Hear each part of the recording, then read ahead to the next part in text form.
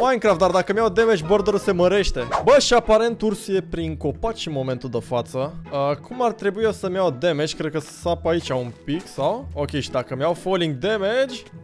Ok. Bun, faza asta în felul următor. N-avem absolut nimica de mâncare, deci cred că mai trebuie să ne luăm nițel falling damage. Una, două, trei. Ceva animale pe aici, poate? Hai că da. Șase. Bă, stai ce? Nu-i nimic pe lângă gen?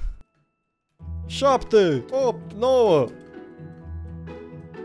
10 Mai dați și voi puține subscriber acolo să se mărească Bă, a, ce de treabă, ce de treabă, da